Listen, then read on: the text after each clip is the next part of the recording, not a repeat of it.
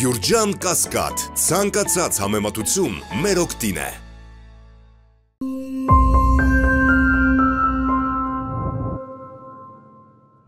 Մի քիչ առաջ այստեղ խոսք գնաց զիջումների հետ կապված, հարց ընչեց, բայց ինքն ենք մենք զիջում, այսինքն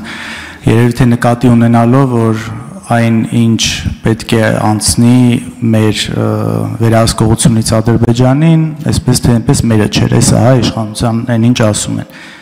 Այստեղ մենք զիջում ենք մեր դիրքը, մեր մարտավարական դիրքը ու թույլատնում ենք մեր պաշտպանությունը նախ եւ առաջ ու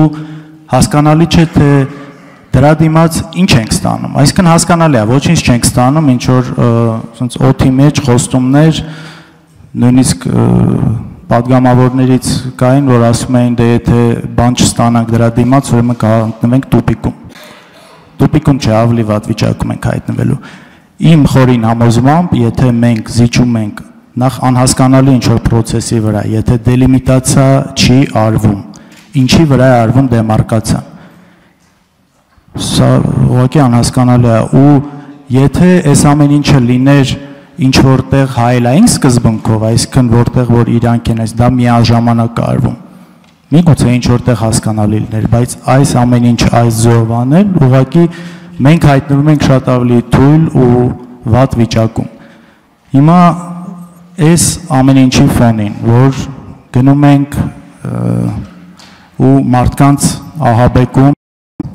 ու ցավալիորեն նաև այնպես է ստացվել, որ պատերազմ հասկացողությունը միանգամից ասոցացվում է պարտության հետ։ Հիմա այս ամեն ինչից հետո, այս դիրքորոշումից հետո ինձ մոտ ուղղակի հարց է առաջանում։ Դուք այս երկրի վարչապետն եք, թե Ադրբեջանի անշարժ գույքի գործակալ։ Հարցը ում է ուղված։ Կառավարության գլխին։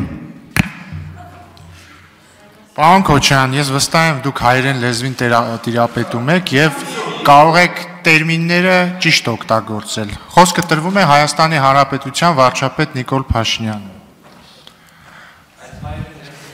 Ուղղակի ես չեմ ուզում էլի անznական դաշտ։ Ինչ չի։ Լուչուն։ Ես էլ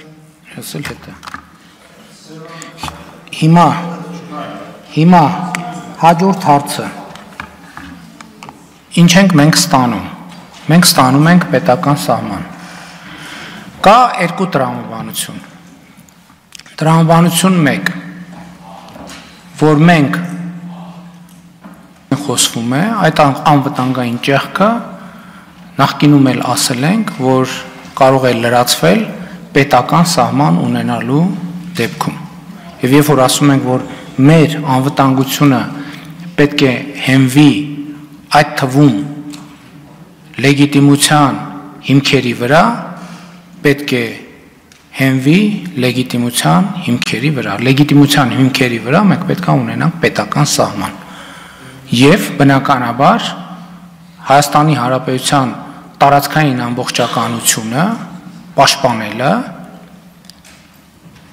վերականգնելը այդ թվում կառավարության օրակարգում է։ Չի կարող չլինել կառավարության օրակարգում։ Արձագանք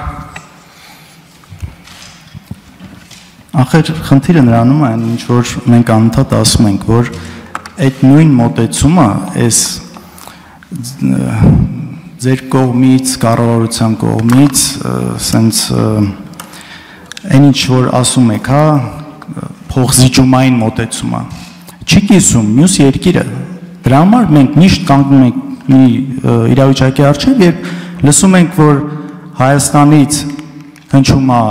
Ադրբեջանի տարածքային ամբողջականությունը ճանաչելը, կոնկրետ քառակուսի կիլոմետրներ նշելը, բայց հակառակը չենք ստանում։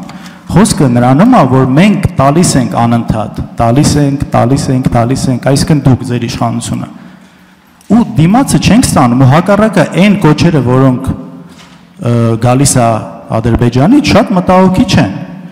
Ու այստեղ բայց չնայած դրան մեկը մենք զիջում զիջում ենք։ Փողզիջում իհարկե միշտ փողզիջման տրամաբանության մեջ շատ բան կարող է լինել, բայց մենք տեսնում ենք, որ դա այդպես չի աշխատում։ Հենց դրանից էլ իմ հարցը առաջացել է։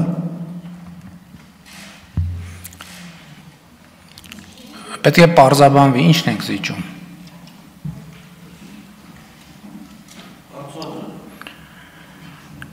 Եվ ելի եմ ասում, չեմ հոգնի ասել, որ որ սա Հայաստանի Հանրապետությունն է եւ ես Հայաստանի Հանրապետության վարչապետն եմ եւ պայմանավորվածությունը, որ արձանագրվել է միջազգային մակարդակում, որ Հայաստանը եւ Ադրբեջանը միմյանց տարածքային ամբողջականությունը պետքա ճանաչեն։ Սա 1991 թվականի Ալմաթայի հրճակագրի հիման վրա Հայաստանի Հանրապետության տարածքի ուրվագիծն է։ Սա Հայաստանի Հանրապետության միջազգայինորեն ճանաչված տարածքն է եւ Հայաստանի Հանրապետությունը չի պատրաստվում որևէ մեկին Հայաստանի Հանրապետության միջազգայինորեն ճանաչված տարածք զիջի։ Ես կարծում եմ, որ սա պետքա շատ հստակ լինի բոլորի համար։ Այո, մենք ասում ենք, որ Հայաստանի Հանրապետության տարածքներ կան, որոնք գտնվում են օկուպացիայի տակ եւ այս ձևակերպման արդեն ակնհայտ է, որ Հայաստանի Հանրապետության ինքնիշխան տարածքի որևէ մի հատված Հայաստանի Հանրապետության կառավարությունը չի պատրաստվում որևէ մեկին զիջել։ Շնորհակալություն։ Լրություն, լրություն, լրություն, լրություն։